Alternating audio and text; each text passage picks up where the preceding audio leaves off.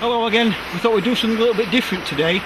So we've come down to our local woods uh, just to show you some uh, something really interesting. Well, we think it's interesting anyway, don't we? Uh, so see what you think.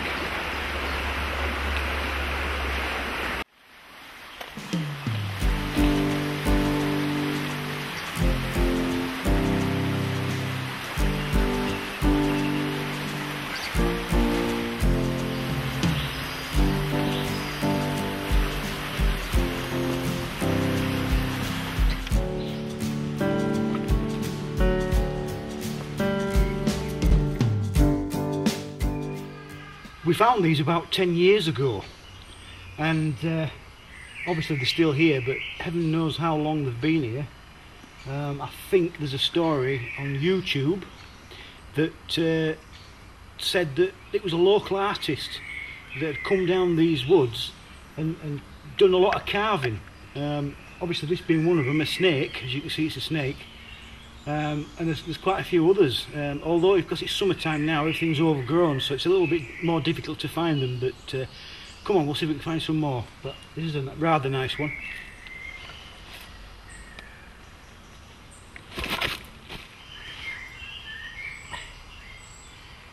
I find it fascinating that someone's been down here and, and taken the time to do this for no other reason than their own personal pleasure I would have thought and to create a little bit of mystery, which is exactly what it did when they were first discovered.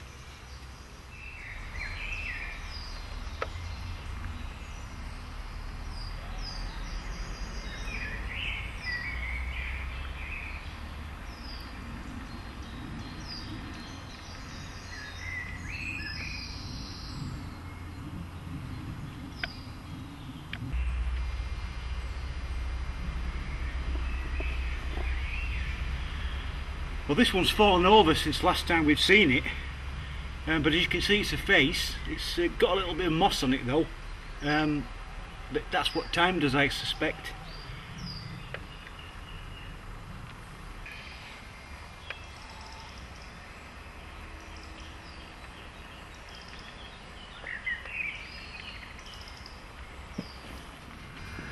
We found another snake not far from the first one but we are finding it really difficult to find any because it's been so many years since we've uh, we first spotted them. And a lot of it's overgrown.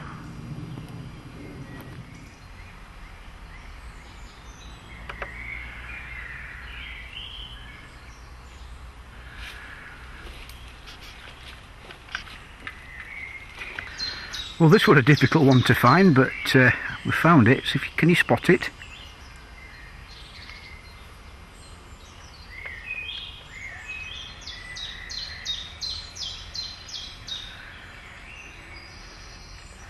Another face. Now, at certain times of the year there's grass growing over the top of that uh, face there um, and it gives the impression that it's got hair which is quite amusing.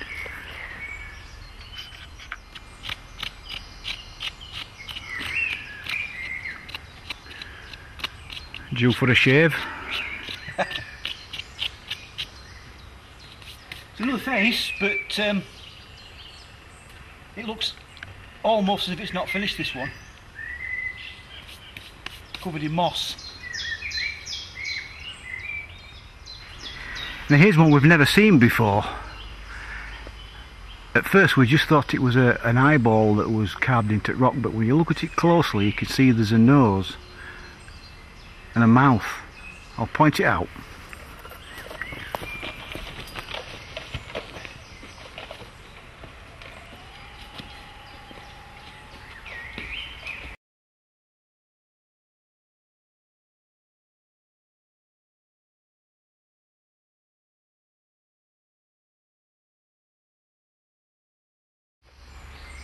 Eye,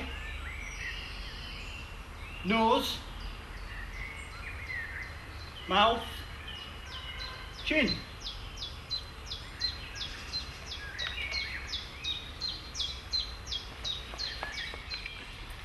Well, there's another face here. I certainly anything about doing faces, but this one appears to have big lips. And it kind of reminds me of somebody. Hey, uh, my name is Mick Jagger. I'd like to sing a song.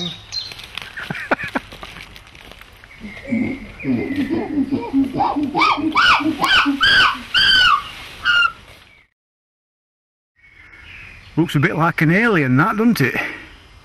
Perhaps it's alien graffiti. Mind you, I haven't seen a cock and balls yet, have you? No, not yet.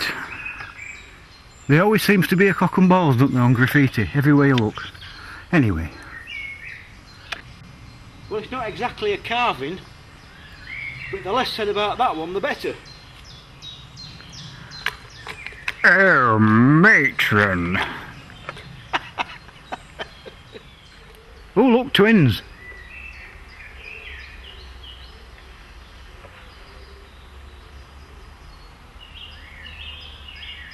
Another face. This one's a little bit different though. This one's got what I'm assuming is flowing hair behind it. And there's one below it as well, which is another one with big lips. And then I found some more over here.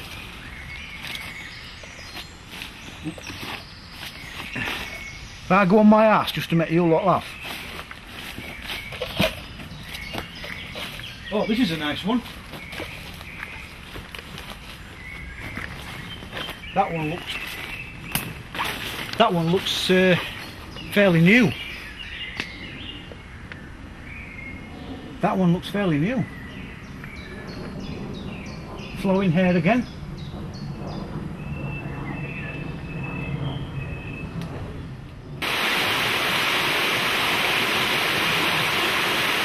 It's rained a lot recently, hasn't it? That's why it rivers up. Wouldn't like falling in there, would you?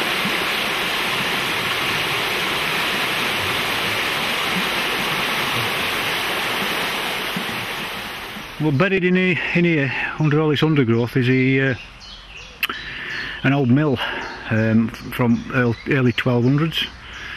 Um, there's not much left of it, uh, but as a, as a, child I remember coming down here and uh, climbing on the stone, but it's it's been demolished.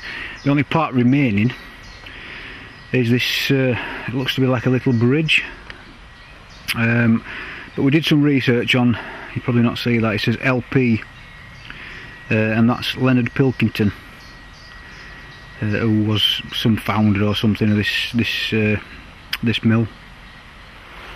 Well that's it for today. Thank you very much for joining us once again. If you like to see more videos on exploring give us a thumbs up and let us know in comments. See you next time. Bye.